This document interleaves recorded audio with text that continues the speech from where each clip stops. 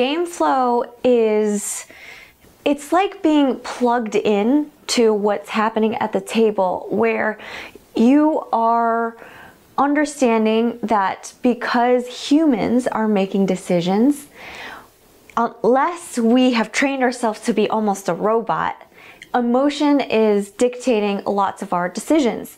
And for example you're sitting at the table and this guy has been playing really tight all day. He hasn't shown any bad hands. He's been making a lot of folds. And usually you would stereotype this person and say, oh, okay, they're just like kind of like a straightforward player. They're not getting out of line. They shouldn't be bluffing too much. But if you're really plugged into how the game is evolving, and you notice that, oh, he got bluffed and that guy showed. Now he's getting a little bit more twitchy in his seat.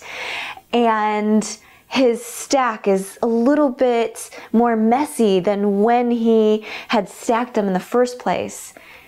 Even though he hasn't bluffed yet, you know that this guy is about to crack because you are so tuned into game flow.